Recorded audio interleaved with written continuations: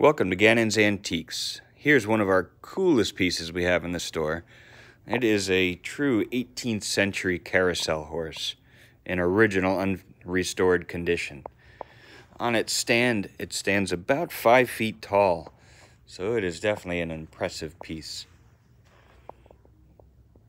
You can see there have been some repairs made to keep it relatively intact over the years. But what a showpiece.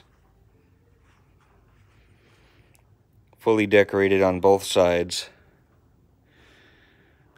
All hand carved from solid wood. This is just one of the amazing pieces you'll find at our store in Southwest Florida. You can click the link below to take a virtual tour of our store and see what other treasures we might have.